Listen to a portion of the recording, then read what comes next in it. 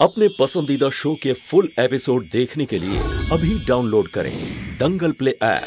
अच्छा कि आरती समय से आ गई। अब नंदिनी तो है नहीं। कम से कम एक बहन तो हो अंशुमन की सगाई पर। छोटी माँ सबसे पहले हमारा हक बनता है।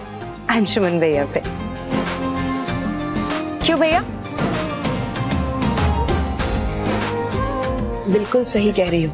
पहला हक तुम्हारा है। तो चलो लग जाओ काम पे। एक कलश में चावल भरो। और तुलसी के चौरे पे रख दो। किसी गरीब को दान देने से दिन शुभ निकलता है। और भगवान करे, आज का दिन शुभ शुभ निकल जाए। हम अभी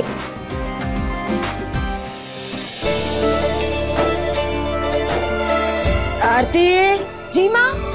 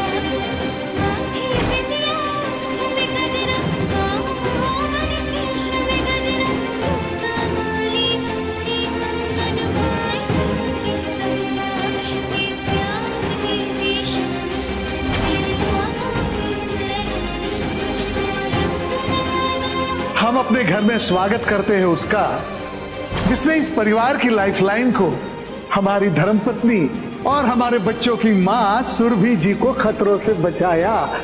स्वागत है बेटा आपका।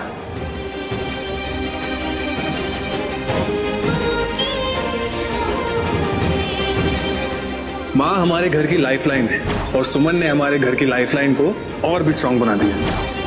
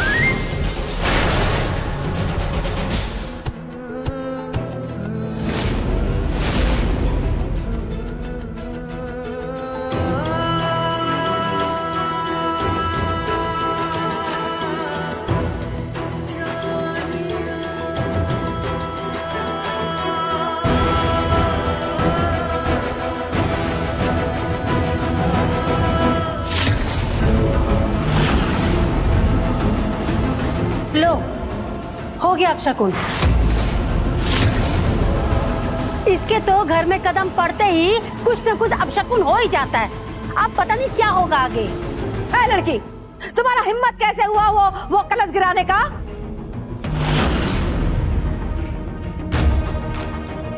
और ये कलश रखा किसने यहाँ पे? माँ वो छोटी माँ ने हमें चावल दान करने के लिए कहा था। हम तुलसी के पास रखने ही जा रहे थे कि एकदम से आपने बुलाया तो हम भूल गए।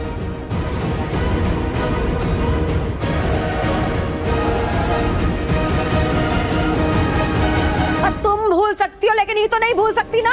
इनसे क्या हो गया है? विधवाओं वाला और काम सुहागनों वाला।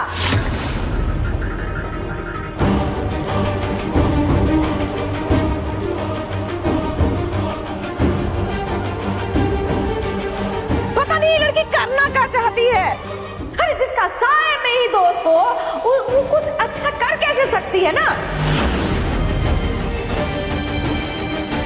जैसे ही इसके कदम घर पे पड़े जो कि हम नहीं चाहते थे शुरू हो गया एक बार फिर से।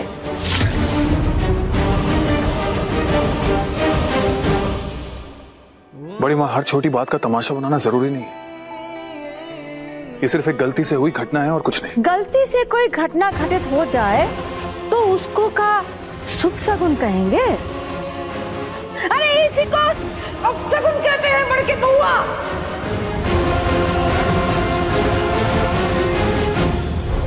भगवान का मर्ज़ी होता है इसमें, ताकि हम मनुष्य समझ सके कि सगुन का है और अब सगुन का।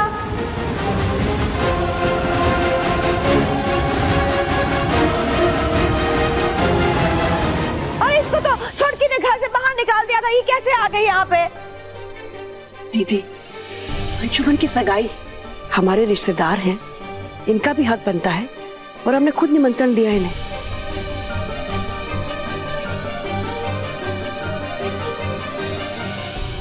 भाई साहब, समदन जी, आइए। आओ सुमन।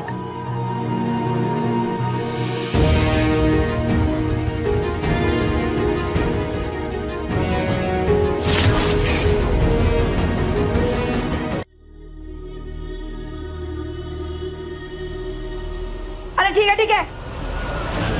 आ तो गई हो, लेकिन सगाई के सभी विधि विधान से दूर रखना अपने को। जैसे कोई बाहर ही रहता है ना, ठीक वैसे। शादी हुआ नहीं अभी तुम्हारा सीरीज़ जी से। विधवाई कहलाओगी ना? किसी भी शुभ कार्य में तुम्हारा साया पड़ गया ना तो सत्यानाश ही हो जाएगा। बुझी? और बड़के बउआ हर बात में ना टोका टाकी ठीक नहीं है। हम जितना समझौता कर सकते हैं किए हैं। एक और बात। सही और गलत में फ़र्क हम तुमसे ज़्यादा समझते हैं।